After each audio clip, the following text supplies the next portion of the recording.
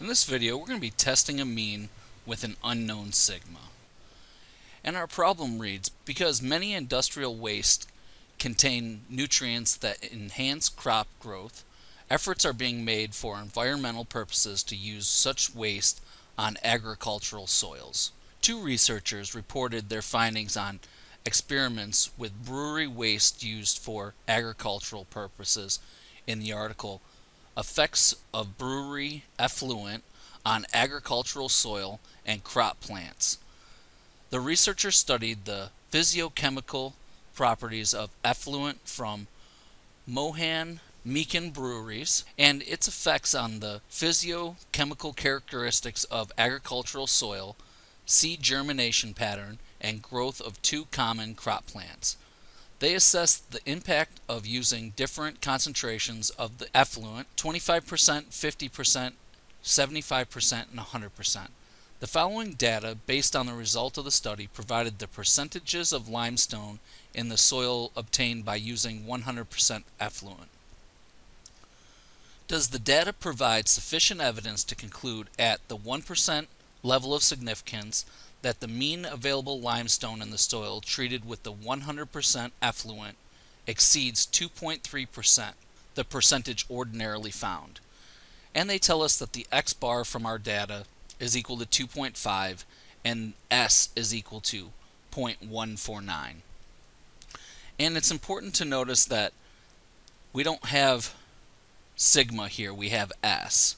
So because we have s and sigma is unknown, then we're going to use the t-test. And then we know that our x bar is 2.5. Our mu is 2.30. And we also need to know that we're using 1% level of significance. And it says effluent exceeds. So the word exceeds is going to tell us that we're using a right-tailed test. And then we need to know our n. And in this case, our n is 10. And I got 10 by looking at our sample, and we can count that there's 10 numbers here. So now, we know that we're using a t-test, and we're going to be right-tailed, so we're going to create our null hypothesis and our alternative hypothesis.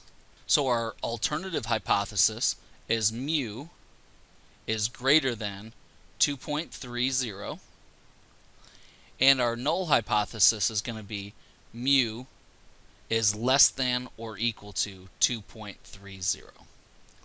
And then we want to find our critical value, and in this case it's going to be a t crit is equal to. And now when we have an unknown sigma and we're using t, we also need degrees of freedom. And degrees of freedom is equal to n minus 1. So since our n was 10, our degrees of freedom in this problem is 10 minus 1, which is equal to 9. So now we go to our t-chart, and we have 1% significant, and we're one-tailed. So one-tailed over to 1%, and now we're going to go down to 9. So we have 2.821.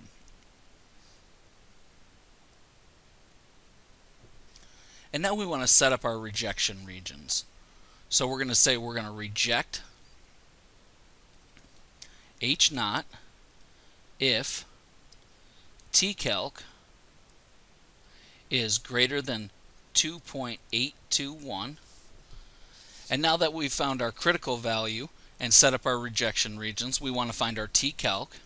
So tcalc is equal to x bar minus mu divided by s divided by the square root of n and that is equal to x bar was 2.5 minus mu which was 2.3 divided by s which was 0.149 divided by the square root of 10 and when we put this in our calculator we find that it's 4.245. And since our t calc is greater than our critical value, we're going to reject h naught. So we have reject H naught. And now we want to write a conclusion for our findings.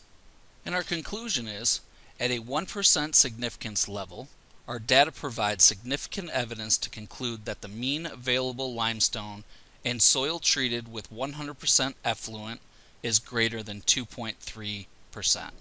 And for t-test, we can't find an exact p-value without having a calculator or a computer. So if you were asked that question, you would need to do it on the calculator or the computer.